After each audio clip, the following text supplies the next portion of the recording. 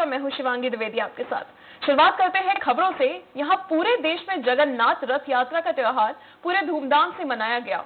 इधर राजधानी रायपुर के गायत्री नगर स्थित जगन्नाथ मंदिर में भी श्रद्धालु बड़ी संख्या में भगवान के दर्शन के लिए पहुँचे।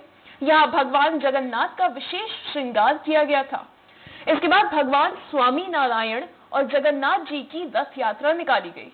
रथ यात्रा के पूर्व मंदिर के गर्भगृह में एक अजीब नज़ारा देखने को मिला। जिसकी राजनीतिक गलियारों में चर्चाएँ भी हैं।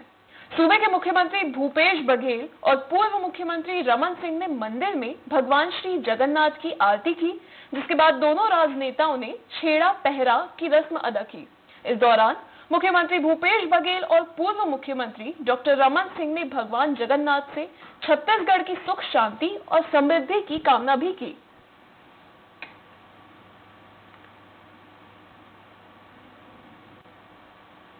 जगन्नाथ यात्रा के सबको बहुत बहुत बधाई, शुभकामना।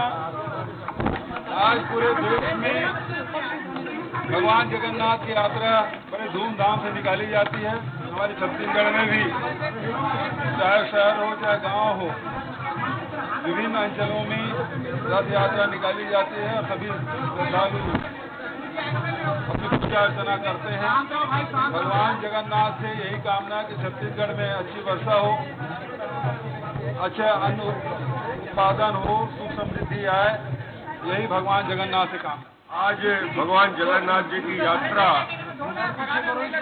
पूरे देश में और छत्तीसगढ़ में, न केवल शहरों में, ग्रामीण क्षेत्र में, इस मंगल कामना के साथ कि भगवान जगन्नाथ की कृपा से इस वर्ष वर्षा अच्छा होगी, फ़सल अच्छा होगा, किसानों के घर में समृद्धि आएगी और जिस दिन भगवान की यात्रा निकलती है, निश्चित रूप से अमृत की बूंदें टपकती है, बरसात की शुरुआत होती है।